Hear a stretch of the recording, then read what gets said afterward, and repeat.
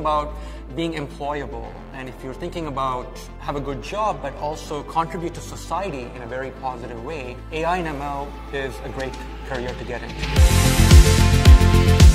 Till now we heard the word called information technology, but from the industry 5.0, which is roughly starting from 2025, we are calling a new world which is purely based on decision making ability of the machines, what we call it as cognitive technology. So that is where, irrespective of background, whether you are a designer, physician or engineer, doesn't matter, you should learn programming.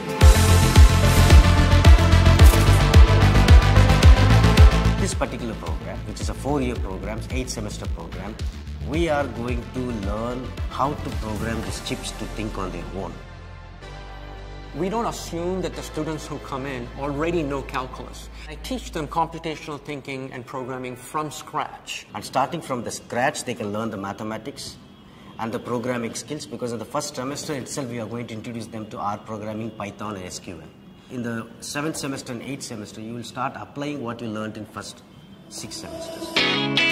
It's a lot of practical learning where you spend the first 20% you know, absorbing the theoretical and academic frameworks and then spending the rest of your class actually actioning on it. So the main goal of the program is to learn the programming languages, the mathematical foundations, so linear algebra, probability, statistics and calculus. These are the four foundation courses.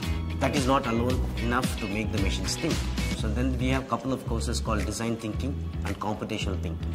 And then there's skills on life skills, ethics, um, and then, you know, uh, we look at real world problems. And these skills are skills which they definitely need for going into their jobs or into their careers. To this was added the Atlas electives.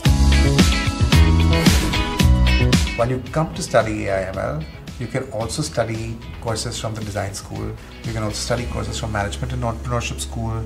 We are learning management skills and how to present our data to actually market it, to be able to start our own startup. It has a very multidisciplinary approach. They can choose whether to work with robotics, they can choose to work with 3D printers, they can choose to work with drones. The students graduate from here, they not only know AI and ML, they also have strong analytical and problem solving skills. And by, by making sure faculty specialize and do research in the areas in which they teach, they can maintain high standards of academic rigor. They are PhD holders and they are so immersed in their subjects and in their fields. You get access to world class faculty who are not just academically very well qualified, but they're also bringing you the industry experience. Any project which is part of your course already includes real-time projects which are being practiced in the industry.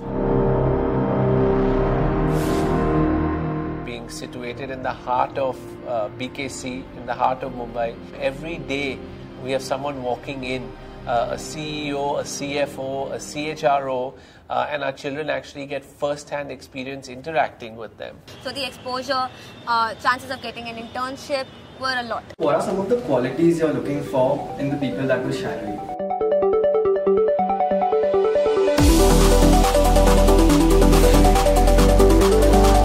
our students they're eligible for an expedited master's program at uh, you know universities like Strathclyde, Glasgow, uh, Case Western Reserve University. Being a tech student, I do not have to really worry about career options because you can go anywhere.